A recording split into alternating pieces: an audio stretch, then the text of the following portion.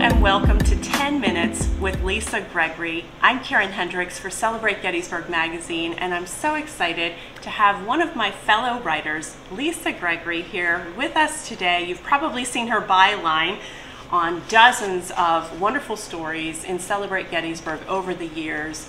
It's such a treat I know as writers, we're used to being the ones asking questions and conducting interviews.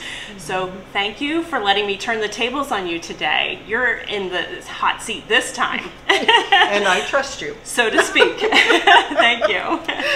well, why don't we get started right away? Uh, I feel like we have so much ground to cover. So Lisa, can you tell folks a little bit about yourself and kind of introduce yourself? Sure. I'm originally from Kentucky. Um, I've lived in Maryland for the past 35 years. I um, have been a journalist for almost 45 years. I started working for my hometown newspaper when I was 15 and my mother would drive me to my assignments because I was too young to get my license. um, I have been freelancing for about 30 years and I've had work appear in the Washington Post, U.S. News and World Report, and it's gone uh, nationally and internationally. I'm married and I have a son and lots of animals. oh, well, that's a great introduction, and so many things I didn't know about you mm. already. So you're a fascinating, um, a fascinating writer. It's great to get to know Thank the personality you. behind the Thank byline you. that we've we've all come to see and, and love and celebrate Gettysburg. Well, there are two very important thank yous that I want to pass along before we go any further. Mm -hmm. First of all, I want to thank 82 Coffee, 82 Cafe for hosting us today. Oh, but wait, they're not called 82 Coffee anymore. They have a new name. So they are now known as Bantam Coffee Roasters. Oh. Same coffee sh shop, same coffee, just a new name. So it's very exciting. They are rebranding, and in fact, in the current issue of Celebrate Gettysburg Magazine, they have a, a beautiful ad explaining their new name. So um, congrats to Alex, and we are so excited to be here today at Bantam Coffee Roasters. Same location, 82 Steinwehr Avenue. So you know the address now, right? Right. And another big thank you, I want to thank our video sponsor today, a Gettysburg Christmas Festival is our sponsor and it is coming up. It's just a magical weekend here in Gettysburg where the town is really transformed. There's music going on, there's entertainment, there are food trucks, including a food truck from right here. Uh, Bantam Coffee Roasters will be there with their food truck.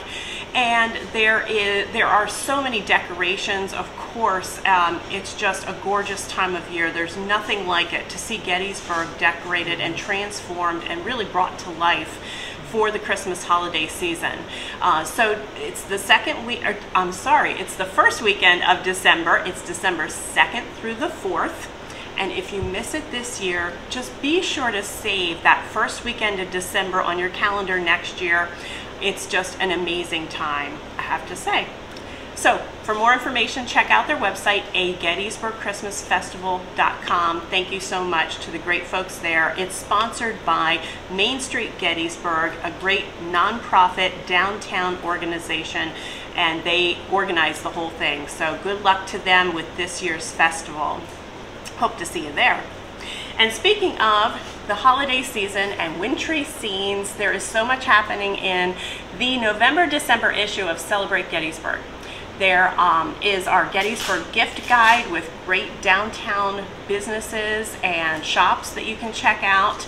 And I have to say, in this month's issue, there are so many thought-provoking, fascinating articles. And yours, my dear, is, it's literally sent chills down my spine. Really. And so the article I'm talking about is called America's First Opioid Crisis. I had no idea that opioids were used to treat Civil War soldiers and veterans until I read Lisa's article. And so let's start there. I want to know kind of the backstory. Why don't you share that with folks? Sure. How did you discover this story that, in my mind, you know, really had gone untold until now? Well, you know, we're in a current opioid epidemic but we've been here before, and this is not our first time around with this this awful awful drug. Um, I belong to a writers group called the Gettysburg Writers Brigade, and we put together an anthology from time to time, and different writers um, contribute or, sh- short stories. And I wanted to do something on the societal trauma that occurred following the Civil War, and how did that manifest itself? You know, with substance abuse and domestic abuse and depression and anxiety and what did that look like? And as I was doing research, I came across a new book by Jonathan Jones, and he is a professor of history at VMI, and it's called Opium Slavery. And he sort of tackled, for the really, I think, the first time thoroughly, um, this opioid epidemic that happened after the Civil War. And I thought, what a great story to share and sort of let people know. And it's been really interesting. So many people have come to me and said, I had no idea. Exactly. And it's, uh, I think there's things we can learn from how it was handled that first time around and things that we may not want to, to repeat. So mm-hmm. that's how it came about. It was really eye opening. And Lisa, you gave me permission to ask you this question. Mm-hmm can you tell folks the story really for you is much more personal, it goes much deeper. So, can you tell folks about the personal connection you had to telling this story? I have been sober myself for eight years. I became addicted to opiates, so I'm sort of a casualty. Well, not a casualty because I came out on the other side, but I, I went through that epidemic myself. And I felt like I was even more passionate or about passionate about sharing, you know, that no, this isn't a new thing. It happened to me. Um, everybody knows somebody nowadays. If it isn't directly happening to you or a family member, you know somebody's family member or friend who, who's been um, impacted by this. So it was an honor to write it but it, it, it was quite moving at times. I was going to say, was it difficult? Was it a challenge for you to write this story? Or in some ways, maybe were you the perfect person to write it? Well, you know, I think a lot of addicts that are in recovery would tell you the same thing. You do feel a need to pass it on and to help others. And I thought, you know, if somebody can read this article and better understand what an addict goes through, or the fact that it's not this come lately epidemic, um, then I could have done some some good there. And um, as it, it, was hard. I mean, at times I would be sitting there and would get very teary-eyed, mm-hmm. and there were times I would have to get up and walk away. Mm-hmm. But I think at the end of the day, in dealing with the stigma that they experienced then, mm-hmm.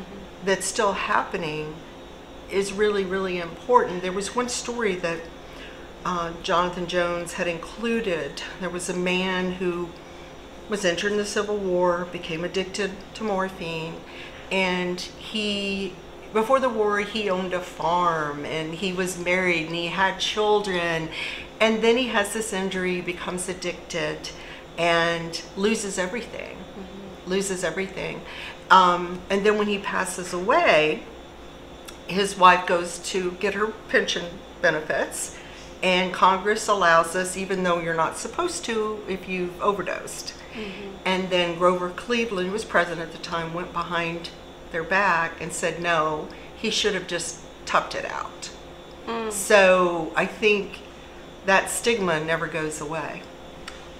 I can only imagine the challenges that you have faced, and I just want to say how remarkable it is and how proud I am of you. And um, and I know that I share this sentiment with Jessica Dean, our uh, creative director and Celebrate Gettysburg's owner. We were so honored that you were willing and vulnerable to share this. So thank you so Glad much. to do it.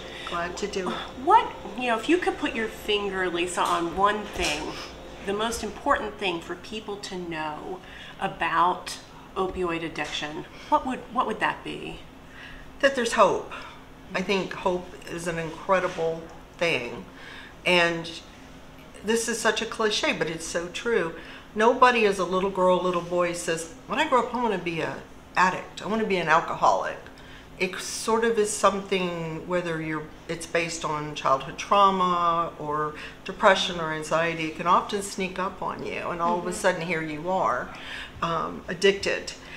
And I just want people to know because, you know, we often hear the saying, um, if they're going to give give addicts who have overdosed Narcan, why don't they give cancer patients free chemo? Hmm. And I'd like to think, and I hope I'm an example of that, that we, those of us in recovery, are worth it.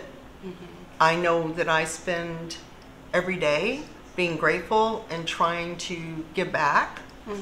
um, because I'm sitting here and I'm an example of what can be achieved. Mm-hmm. But you you've got to have that hope, and I think that's that's incredibly important. What a great message, Hope. Hmm. Thank you so much, Lisa. And we love to end every video with what we call the final five. Are you ready? I think so. Okay. so, what would you say to? Uh, I mean, here we are, no pressure, sitting in, in, a, in a coffee shop. But what do you consider the best cup of coffee in Adams County? Of course. But what's the new name? Bantam Coffee. Bantam Roasters. Coffee. I'm drinking a cup now and enjoying it immensely. Excellent. And uh, favorite restaurant in Adams County? What would you say? I have to say O'Rourke's because, as I mentioned earlier, I'm a member of the Gettysburg Writers Brigade. I am there every Wednesday having a meal before we go upstairs for our meeting. So I've grown quite fond of them. O'Rourke's. Okay, good answer. And here's another one. Who would you consider to be an unsung hero in Adams County? His name is Bob Scappini, and I've written about him for the magazine. He reconstructs those stone walls that, that we all see throughout the battlefield. He's out in the heat. He's out in the freezing cold. He has broken his thumb, I think. He's got battle wounds or scars. And he does it, he volunteers. He Yeah. does it for free. That was a great story. I remember that one. Yes. Okay. Uh, next question. Can you reveal a hidden gem in Adams County besides Bob's stone walls? Well, the Gettysburg Writers Brigade. if you want to be a writer, we meet every Wednesday night. Come and join us. And uh, or you just want to hear some talented people reading their stories and talking about writing. So it's been pretty important to me. Okay, and last question. Here we are talking about Celebrate Gettysburg Magazine. So, what is your favorite way, Lisa, to celebrate Gettysburg or Adams County? What isn't a way? I mean, you visit the battlefield, you walk downtown, and you go to a vintage candy store, or you go to a metaphysical shop and look at the array of crystals, and it's just a celebration sort of waiting to happen. You just have to decide how you're going to do it. Mm-hmm, mm-hmm. Well, thank you so much, Lisa, for sharing your time, your insights with us today, and thank you to our readers and viewers. Wishing you all just a wonderful Christmas holiday season. Again, for Celebrate Gettysburg Magazine, I'm Karen Hendricks.